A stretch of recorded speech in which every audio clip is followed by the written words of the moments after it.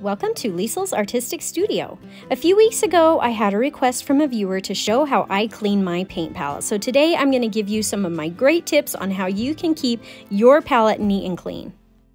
The first thing I'm going to address is how to keep your watercolor paints clean, especially if you enjoy mixing colors. So when I mix colors, I try to start with the lightest colors first and then add in the darker colors afterwards. Then the next best thing is to try to wash off your brush before you dip into a new color. Now, even when I'm trying to do both of those things, I can still get my paints a little messy or mixed together. So if you need to clean your colors out a little, you can use a clean, wet brush and clean water, then get the top of your paint wet, and then use a paper towel to dab off any of that unwanted color. Next, when I'm ready to clean my mixing trays, there's a few ways that I do this too. So the first way is to take a large brush full of water and scrub all around my mixing tray, all over the paint that's there. Then take a dry paper towel and wipe off any of the dirty water.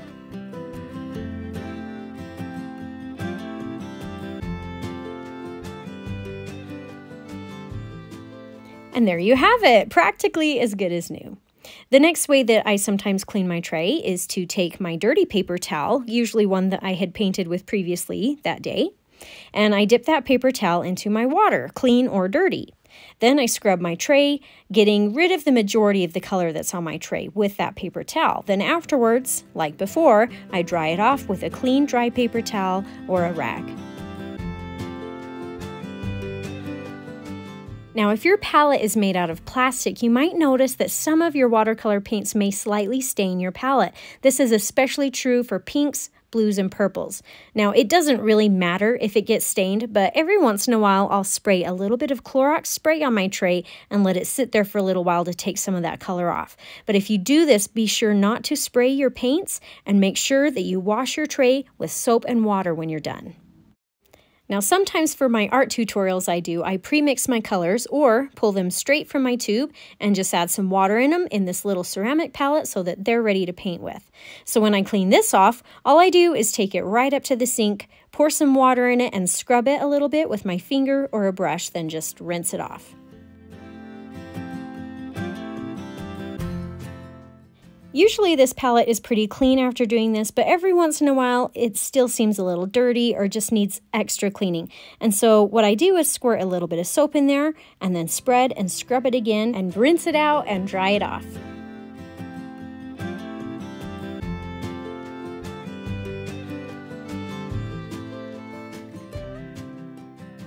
You can clean these little plastic palettes that exact same way, but like I talked about before, they can get stained with some paint color. So if you want, you can spray it with Clorox just like I showed before.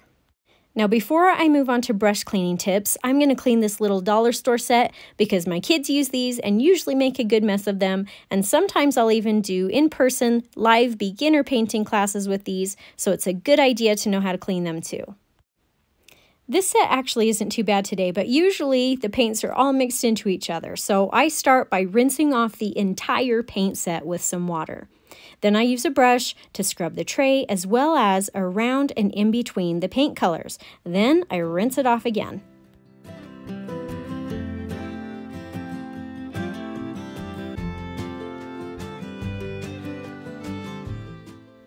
And if the paints themselves need just a little bit more help and attention, use a paper towel and dab off the tops of each color.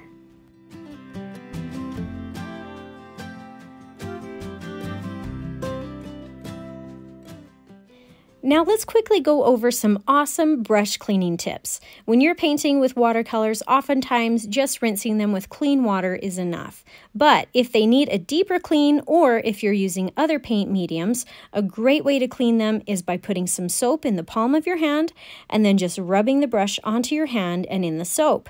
Then rinse it off and do that same thing over again until the water runs clean.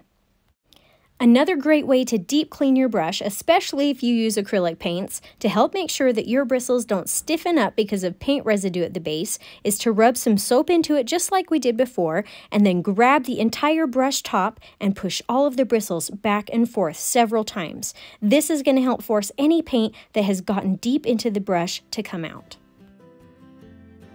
I hope you found some of these tips helpful today, and I hope that you'll consider subscribing to my channel so I can help you discover your artistic side.